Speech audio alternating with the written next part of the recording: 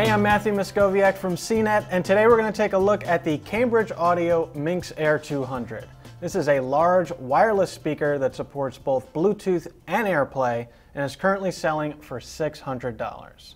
The Minx Air 200 is one of the nicest looking speakers to enter the CNET offices. A lot of these speakers go for a real eye-catching design, but the Minx has an understated look with a white plastic cabinet and a gray speaker grill that looks good pretty much everywhere I placed it.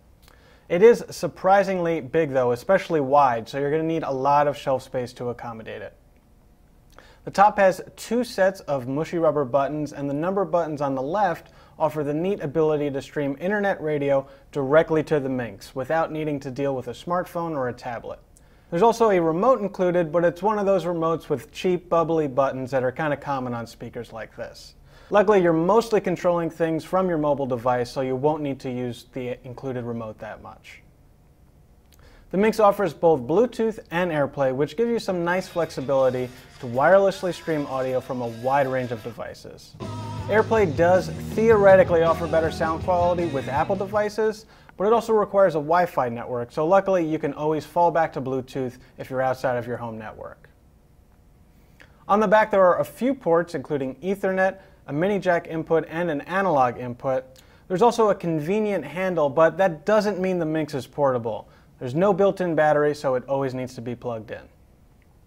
For listening tests, I had the Minx 200 set up directly next to the Klipsch KMC3 in the Peachtree Audio Deep Blue, and it couldn't quite rock out with the other speakers.